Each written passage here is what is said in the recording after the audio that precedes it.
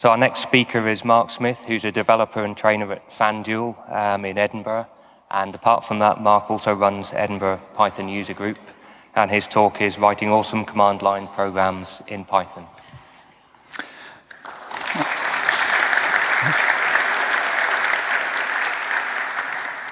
Hi, thanks very much for coming to my talk.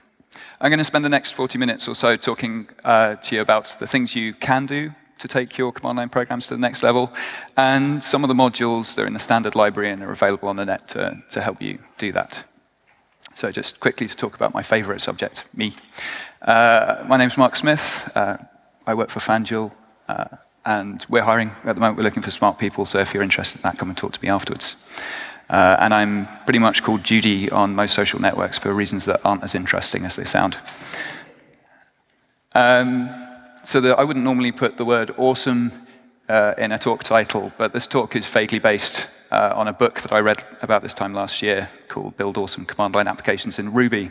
So I was uh, stuck building a command line application in Ruby, uh, and I'm not a Ruby developer, so I kind of needed to look around, and I came across this book. It really is excellent, so if you're stuck in the same situation, I highly recommend it.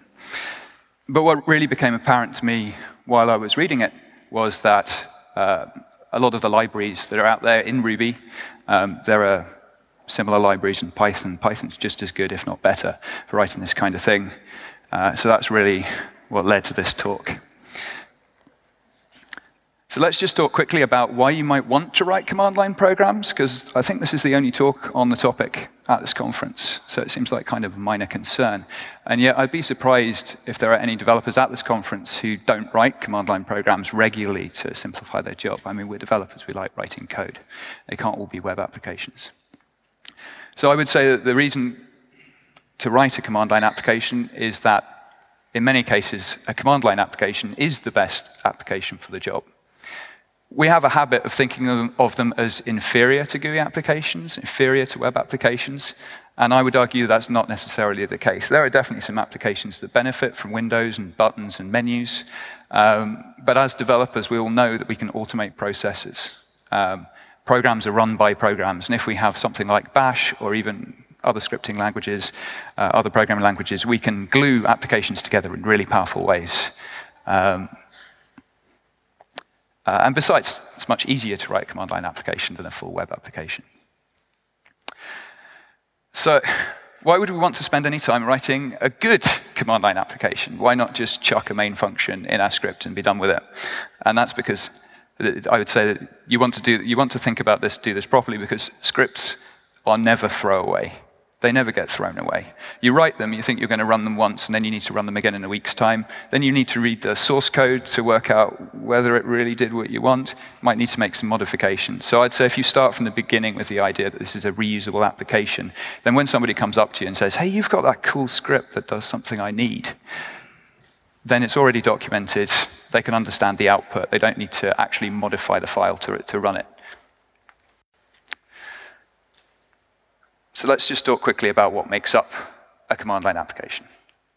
So I suspect most people just kind of fell into using and then writing command line applications without really thinking about what makes one. Uh, and more importantly, what makes a good, easy to use, reusable command line application. So this is your program it's just a program. It's just a, a, bundle of functions, maybe some classes. This is the thing that actually does the useful stuff. But without an interface, it's not any use. So let's start sticking a command line interface on top of it. So the first thing you probably think of are the command line arguments, the flags, the things that begin with minus or minus minus, and data that you pass on the command line to run the application. So I, have been talking to people about the topic of my talk during the week, and I've been getting this, this look uh, as if to say, you're doing a talk on argparse? A 40 minute talk on argparse. Um, but there's a lot more to it than that. Um, we've got standard in, standard out, standard error. Um, and it kind of looks like we've finished, but we haven't finished. Uh, we've got signals. So I, uh, can I have a raise of hands of anybody who's actually caught a signal in a command line application? Oh, wow, that's way more than I expected. Okay. Uh, I'm not going to go into great detail on signals. I'm going to kind of skim over that because I've got far too many slides. Um, and then we've got configuration. So configuration is not specific to command line applications. Obviously, we have that in GUI applications as well.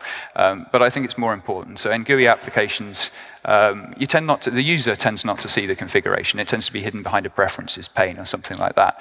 Uh, whereas with a command line application, if you're providing configuration, your user's probably going to have to write that. They're going to have to know where to find it. They're going to have to know how to modify it. And so the decisions you make are more important. And then finally, we've got the exit code, which is the number that's returned when the program's finished to say whether it, whether it did what it was supposed to or whether it encountered an error. So I'll start with command line parsing. There's a bunch of options. Um, there are three in the standard library, and you'll find that most people who aren't experienced Python developers pick getopt. Uh, partly because actually it's not alphabetically at the beginning anymore. argparse is at the beginning. It's, um, it's the first one they see, and they've probably written some C, um, or they've encountered um, essentially the same interface in other languages, and so they just kind of go, oh, that's, that's what I'm looking for. But getopt's horrible. It's really horrible to program. Um, it's not really Pythonic, uh, and it doesn't validate your arguments very well. I'm not going to talk about OptParse a lot because it's really been superseded by ArgParse. Um, ArgParse offers all the same functionality as far as I'm aware, plus some extra functionality. So I'm going to talk about ArgParse briefly. Um, in the third-party domain, we have a few options as well. Um, DocOpt is interesting because it takes the opposite approach to anything else I've ever used. Um, DocOpt, you actually write your help text, so the kind of text you'd expect to be printed out when you ran, run your script with minus minus help. Um, and then docopt will parse that, work out what arguments your, your program should expect, and then it builds you an object that, that will pass those command line arguments. So it's kind of clever. But having used it, it's kind of fiddly to, to get the syntax right when you're writing the help, and I found it just actually took a lot longer and it wasn't really easier in the end. But I quite like the idea. Plus, um, it's cross-platform, so it's been implemented in more than one language. So if you, if you, for some reason, are writing a script that is implemented in multiple languages, that, that may well be a good option for you. Um, Clint is much more than a command line parser. Clint is a project by Kenneth Reitz. Um, and it's a whole framework for building command line applications. So I highly recommend it. It, co it covers a whole cross section of stuff um, that we're going to cover in this talk. Um, I, I, admit that the one thing I don't like about it particularly is the command line parser. Um, but but it's, a, it's a good option. If you're already using Clint, then you're probably going to want to use the command line parser that comes with it. Then there's Click. Um, uh, it's, it's been creating a bit of a buzz recently. It was released by Armin Ronacher a couple of months ago. I haven't really used it. Um, it looks pretty powerful. Armin's very good um, at these kinds of libraries, and I believe he solved a lot of um, localization encoding issues. So if you're having, if you're going to be running under lots of different locales, then Click is probably quite a good option for you. Uh, and then finally, we have Compago, which I don't think is a hugely popular library, but I like the approach that it took, and I think it's, it's simpler for certain things than ArgParse. So I'm going to quickly cover that with one slide after, after talking about ArgParse. So I'm sure we've all used argparse in this room, so I'm not going to spend a lot of time on this, um, but you instantiate an arg argument parser, uh, and then you tell it about all the arguments you expect. Some of them will be compulsory, some will be optional. Um, and then when you finish doing that, you actually call parseargs. It will go talk to sys uh, argv, extract the arguments, work out which flags correspond to which values, and then hand you back a namespace object um, which contains the, the extracted values. Uh, if it fails, if somebody's passed an invalid value, uh, it'll, um, it'll essentially, it'll print out the help text and then finish with an error code of one. Um, so here we've got an option, optional variable called, uh, optional parameter called name. Um, that's what the nargs question mark means. Um, and so if it's not provided, I'm just replacing it with the word world. This is just a silly hello world um, script. And then it prints hello and the value of name. And that's what happens when you run it. So because it's optional, we can run it without. It uses world. We can run it with uh, Douglas, and it will print hello Douglas. Um, sorry, skipped ahead. So uh, we get the same output as we would if we had just extracted that single variable from, uh, from um, argv. Uh, so you, you might say, why did we bother? It's, it turns out that that's, that was only one line more than the code um, that, that just extracted it from the first item of argv.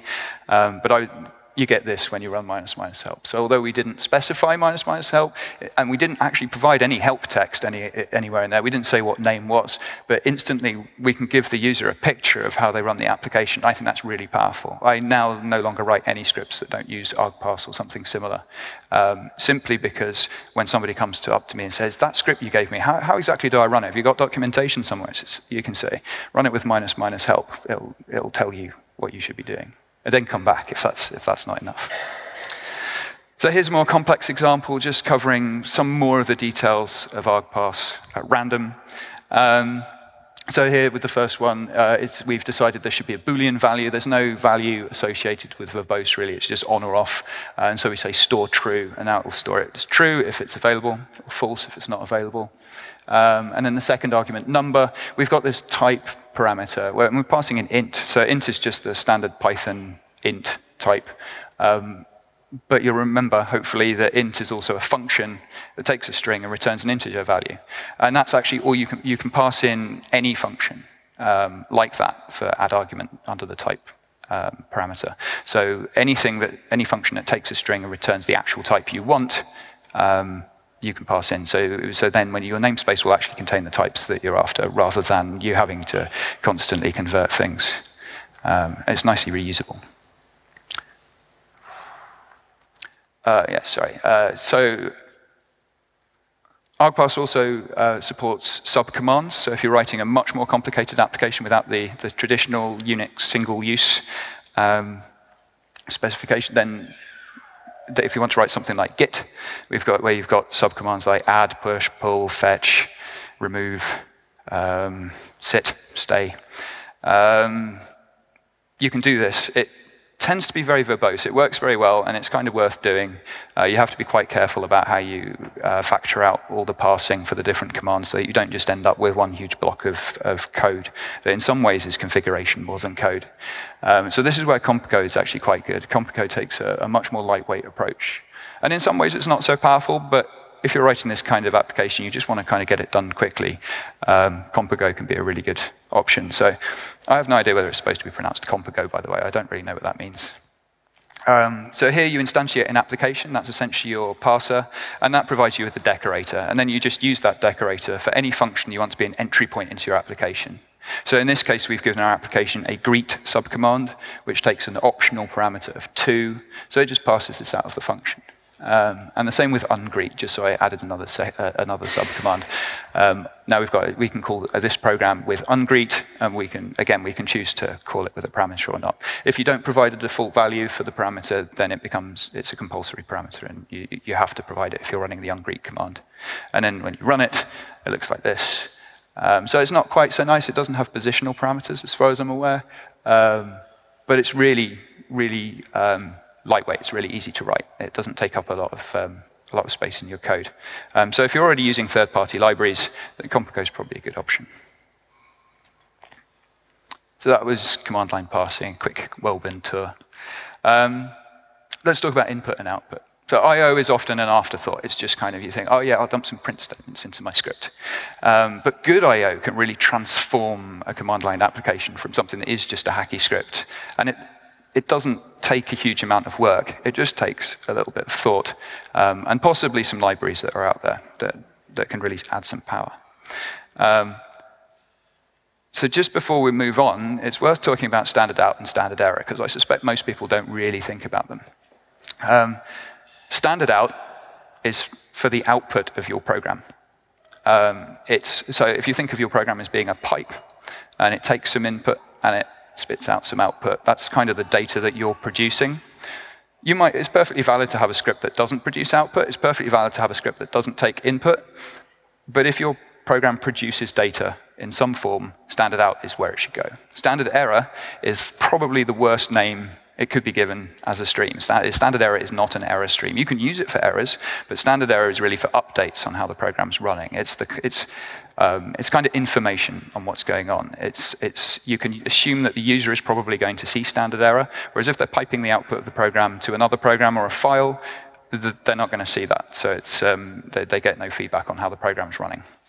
So the way I think about it is that standard out can be piped, piped to a file or another program, whereas standard error can be logged. So uh, at, at the least, it goes to the screen, or you can save it to a log file. That's really what it's for.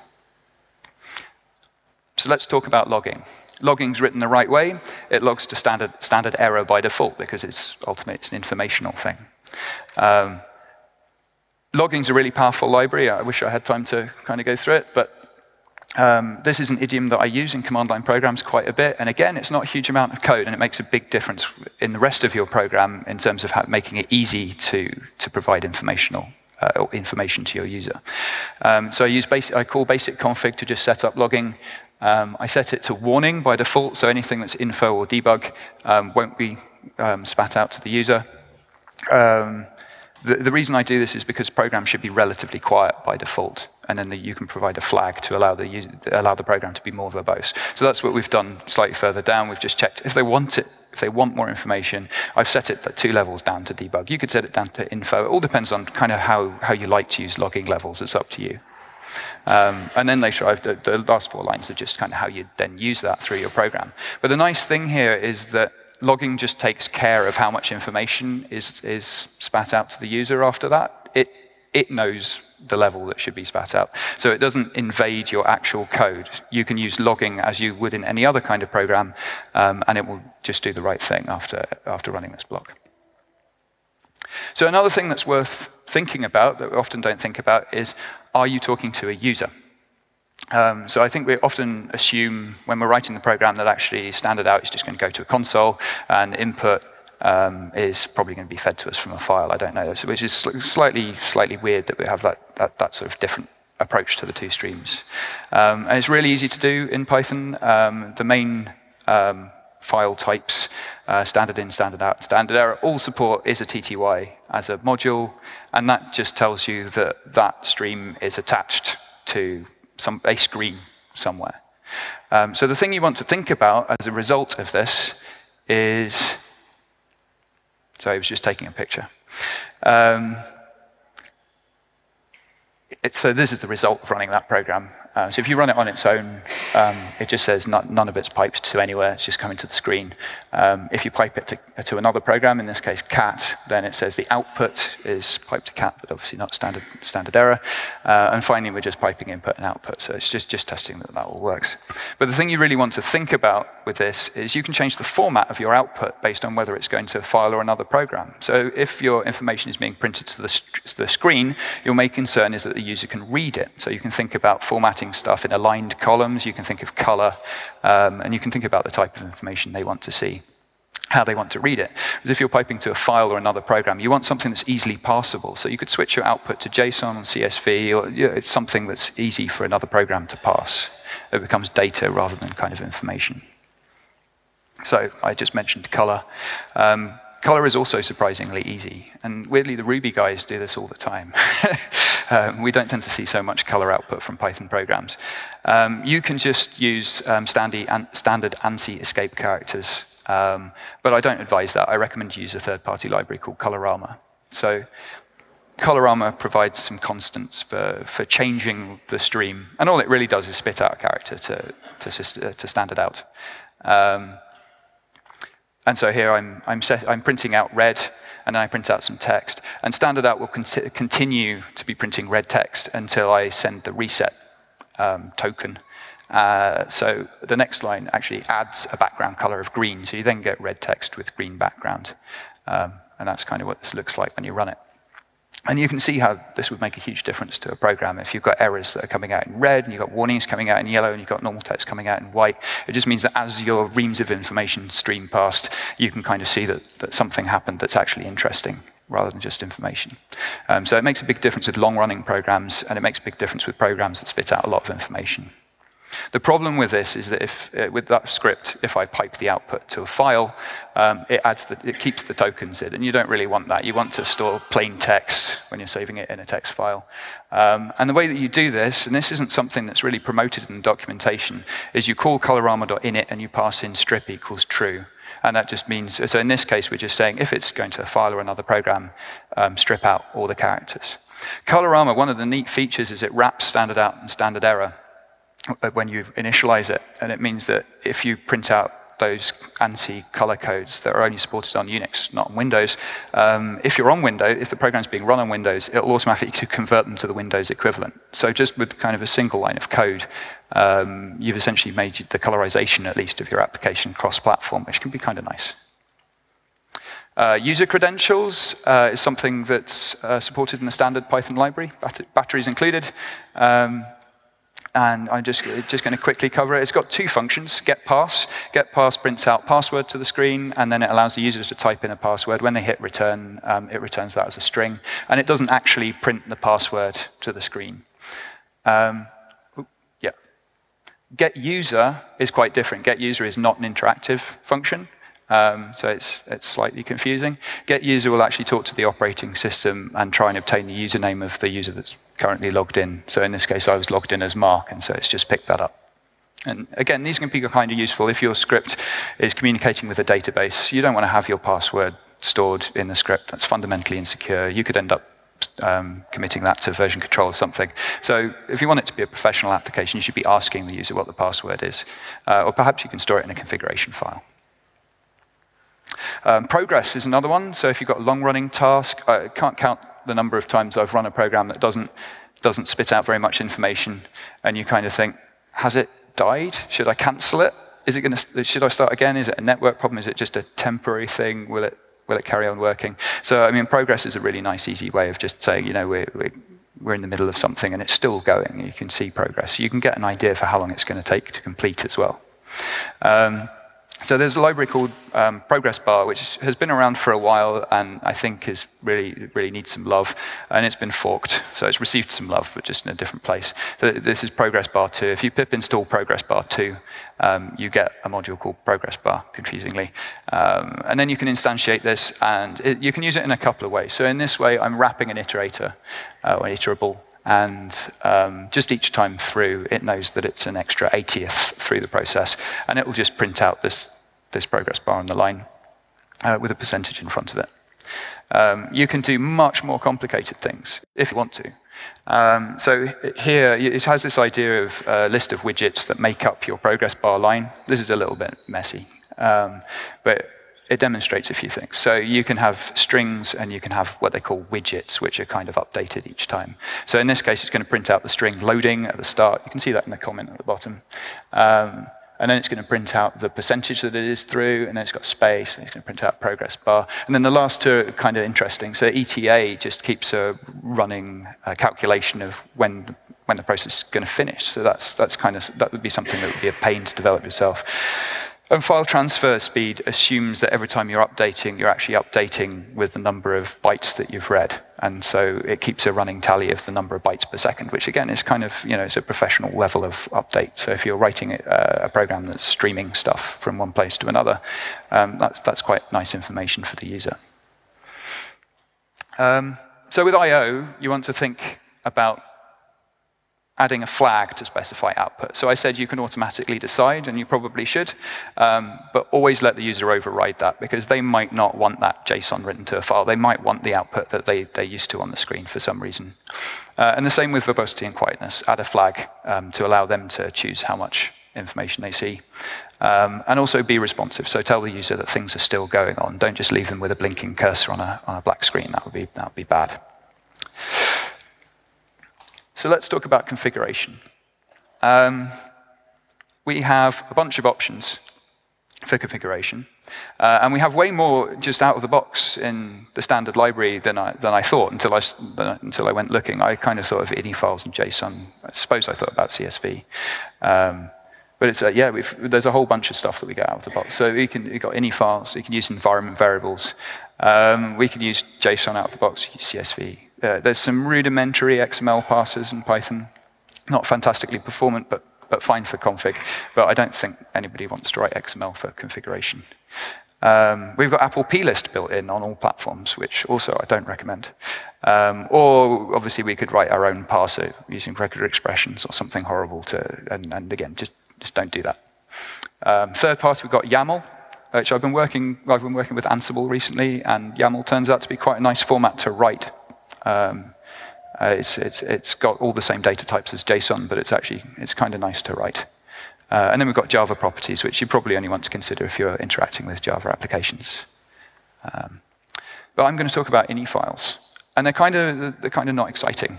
Um, and they have, a lot of us are Unix developers, and we're probably thinking, isn't that a Windows thing? Um, but I think they're, they're hugely powerful, and I think people kind of underestimate the power of them, possibly just, just don't use them in the right way. So I wanted to cover it. Uh, so the config parser module uh, has a few different config parser objects in there. I recommend you use safe config parser because that way your application, there's some security holes in some of the others. Um, they're there for historic reasons more than anything else, as far as I can tell. Uh, and the way that you use it is you instantiate your config parser, at which point you will have an, an empty configuration object. And then you call read. And read doesn't take a single file name, it takes a list of file names um, which is kind of counterintuitive until you understand really what it's designed for. Um, and what it does is it goes through that list of paths, and if the file that that path points to is there, it will read it in, and it will merge whatever data is in there with, with, with whatever's in your config object. And then it will go on to the next file, and if that's there, then it will read it in and merge it in. And if it's not there, it will just skip it. It doesn't there are no errors if it doesn't file, find any of these files. It expects to be given a list of effectively optional files, files with optional existence.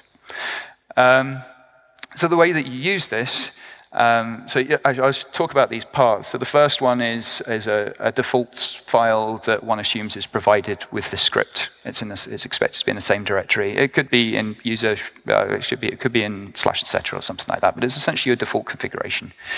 Uh, and then on top of that, we've got the per user configuration. So we are picking tool.ini from the home directory. Um, and then on top of that, we've got config.ini, which is in our current working directory. We haven't specified an absolute path for that, so that's just kind of where we are. So that's, yeah, that's your project configuration. And these might look like this, so starting at the bottom. So the first one that's loaded is defaults.ini, um, and that assumes, uh, normally when you run this script, whatever it does, it's going to be talking to localhost on port 8080. And, uh, and then it's, I, I'll talk about URL in a second. Um, and then what it does is it loads tools.ini. If it's not there, it does, obviously doesn't load it, it doesn't complain. But if it is there, it loads it, and it overrides port. So this is like inheritance with objects. Um, so now we have localhost and port 5000. Um, and then, uh, then we load in the project configuration. For this project, we're pushing everything to www.ninjarockstar.guru. Um, love those new domain names. Uh, and so now we've got that host, we've got port 5000 but we still have this URL um, value that's generated with placeholders, so it's built up from host and port. Um, so if we print these out, we've got the host that I said, the port that I said. You'll notice that also we can call getInt, so it does some basic casting for us, so some parsing if we want it. Um, it's not a huge benefit, but it's kind of nice. Um, and then we've got URL, which is our generated value. And you'll notice that it's generated on demand. So it's, it's got the values that we inserted in later files. So Ninja Rockstar wasn't around in the, in the file that URL was defined in, but it still pulls it in anyway. Um, and that may not seem like a huge benefit. I mean, it's a bit ugly as well. But what it means is that if the user wants to use an HTTPS URL, they don't need to change any code. They don't need to go into that defaults file and change it. They can just they can set URL in their, their personal um, config file or their project config file, and then it will use that. And again, they can use these patterns. They can use host and port in there, so it doesn't need to be, they don't need to start from scratch again. So it's kind of powerful. That's, that's config. Um, so I'm, I'm going to kind of skim through signals a bit. Um, talking really fast, actually. I hope, hope everybody can follow me. Cool. Um, signals. So uh, it's not nice code, um, but you can set up a, a callback, essentially. So when a signal is received from the operating system, you can get it to call your function. Um, what that first line is doing is it's overriding the default behavior. Um, so when your, when your function returns, this is siginfo, which is a non-standard flag. I can't actually remember how you pass it to your program, but it can be kind of useful. If your program's not spitting out any output and the user still wants to get some progress, um, DD does this. You can pass in a siginfo um, using a control letter sequence, and, um, and then it will just print out its progress report, which is, which is kind of nice. Um, but the, the truth is probably most of us aren't going to do that very often. Um, we're, we're, usually interested in um, SIGINT, which is keyboard interrupt. So when somebody hits Control C to finish your program, um, and that is actually caught by Python anyway. So that, that isn't ignored and it doesn't, doesn't by default just quit your program. It raises a keyboard interrupt. Um, and this is why in all my command line programs, I wrap everything with a keyboard interrupt because the default behavior is to print out a stack trace and exit with an error, which, which isn't really what happens. So you, you generally want to, you want to handle that and, and not really do anything. Um, I'm not re really sure whether the correct behavior would be to make sure your exit code is zero when this happens because it's, it's not an error. So I'm just going to run very quickly through code structure and packaging. Um, because I didn't think I had enough time to do more. Um, so all projects are different. Uh, and a lot of the stuff I work on are actually single file scripts. And then there's, there's not a lot to it. You could add a setup.py to make it installable, um, but you don't need to do much. Um, and, and, often, to be honest, they just end up sent by email, which is not great because then you lose versioning, you lose the ability for people to update, things like that. Um, but there's nothing magic about command line scripts. I recommend you use setup tools rather than distutils um, because that handles dependencies, uh, installing any dependencies you might have. And it also includes some, some extra features specifically for command line, writing command line programs.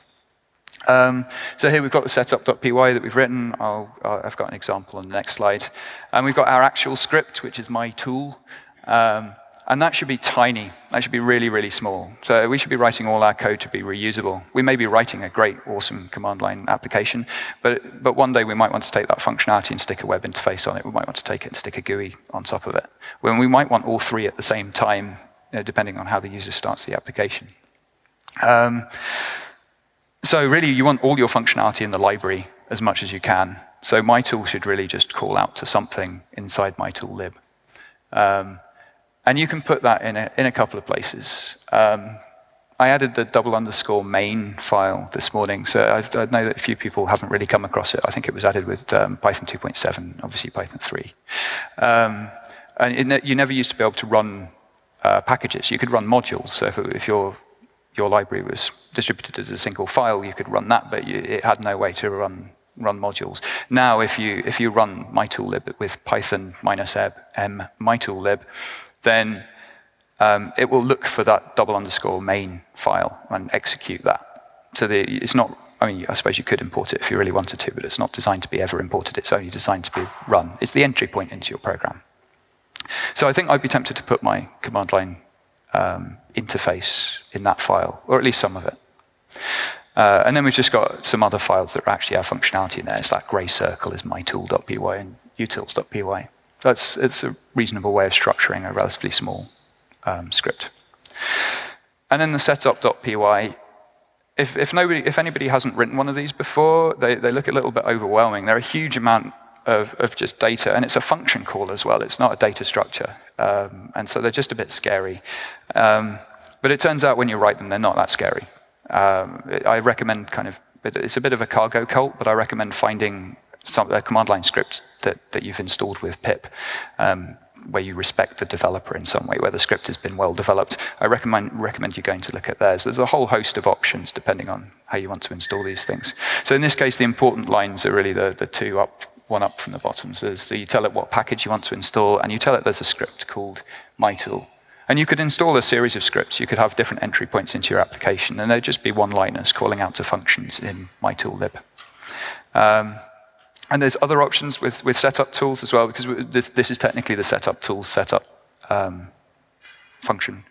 Um, you, there, there, there's such a thing called an entry point, and where you can where you don't write your script. You write a function that is your entry point. You tell setup tools what function, uh, what functions you want to be entry points. You tell them what you want those scripts to be called. And when, when somebody pip installs, it will install those scripts for you. And the, the nice thing about that is on Windows, it will create an executable. So it'll create a binary. So it looks much more like a native application to the user. Um, and they won't have .py on the end. So it's, um, they, they, they're more native on Unix as well. Exit codes, there's, there's not a huge amount to exit codes. Um, by default, Python does some sensible stuff for you. Uh, if your program just exits because it got to the end of the main function or the end of the, the, the script that it was running, uh, it exits with zero. Um, and if it doesn't, if you've got an uncaught exception, it will exit with one. But it's not a great amount of information. So if, if you exited because the user provided bad data, you could provide a different exit code. Um, if, you, if you had network problems, you could provide a different exit code. There's any number of options. You can just, it's a, it's a very small token of information that's easy for somebody else to then understand. They don't have to pass any information. They're just handed back a number. You should always consider that your program is being run by another program, because uh, that's going to make it more reusable, make it more useful. Um, and there's no specific standard for what these numbers should be. Um, GNU, the GNU um, project recommendations, they recommend that you set the high bit if it's a serious error.